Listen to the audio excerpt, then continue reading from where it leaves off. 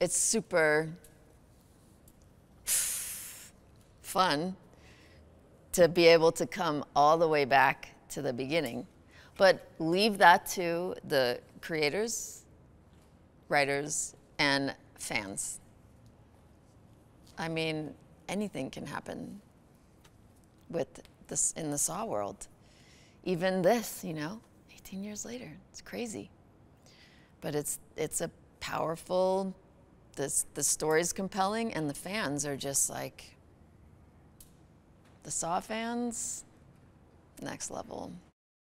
What's super exciting about this for the true fans is that you're you have John and Amanda, which, you know, like the idea of the, the male and female of Jigsaw is super interesting. Everybody dies at the end of three. So, you know, how many flashbacks can you have? And then someone had the genius idea to go back to this time and like I mean, it's like unreal. I play Amanda Young, and uh, she's very smart. She's been um, wounded, and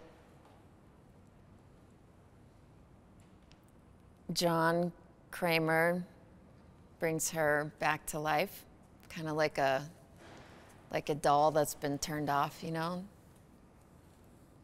She gets brought back to life and she loves him like wholeheartedly.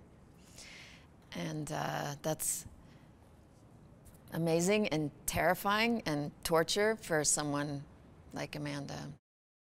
John is, comes to Mexico City in search of cancer treatment.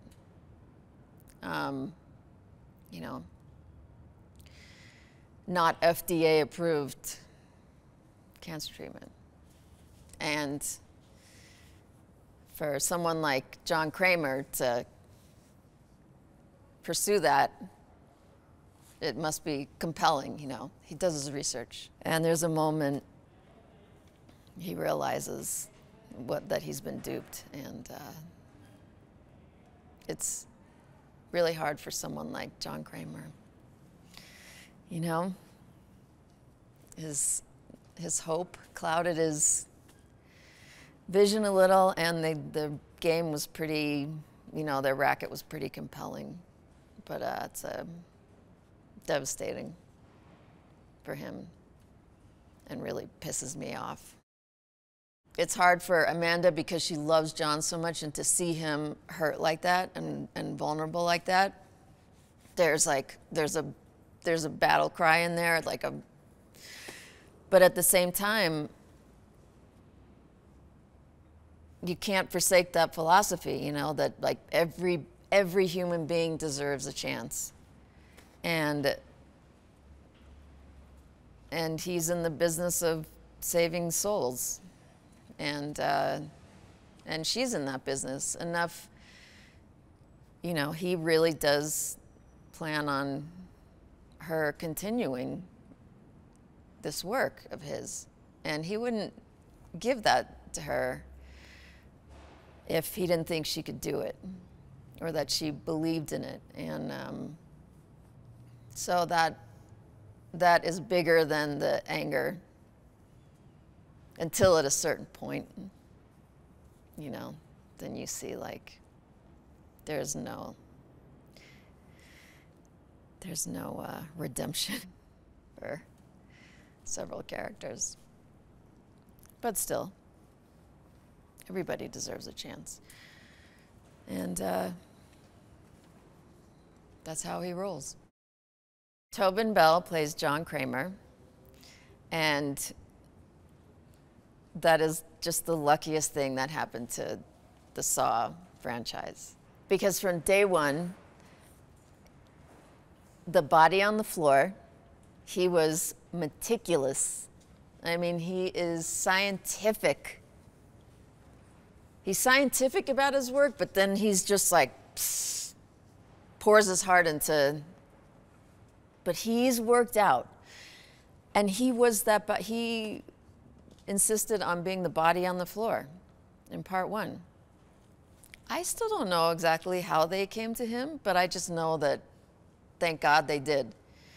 I mean, it was probably meant to be, but that was definitely because he's such a big part of um,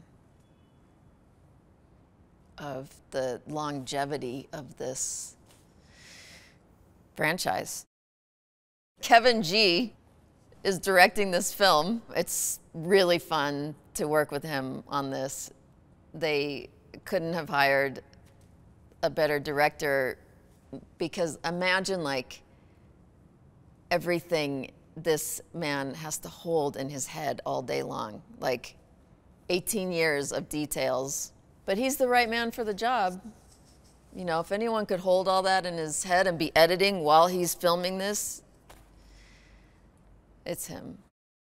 This has been so many years now of conventions and meeting the fans of Amanda. There are like generations of them now. I just started calling them this past year the tribe of Amandas because they're very similar.